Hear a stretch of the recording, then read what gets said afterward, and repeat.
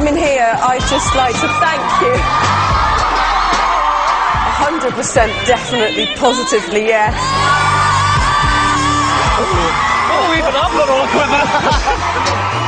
So Les definitely seems to be